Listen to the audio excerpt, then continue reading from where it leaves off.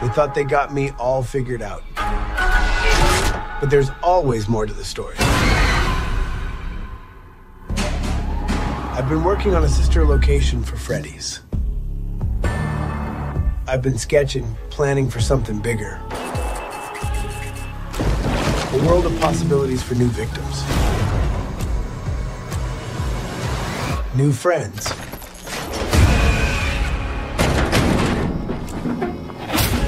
And I can't wait to meet them.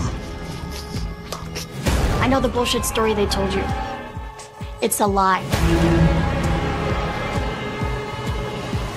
These may seem like a happy go lucky child's play place, but it's much, much more than that. This town has a dark history, and it all starts with this horrible place. They baited you. You're here to be a human sacrifice. You're here to be eaten and killed. Do you understand that?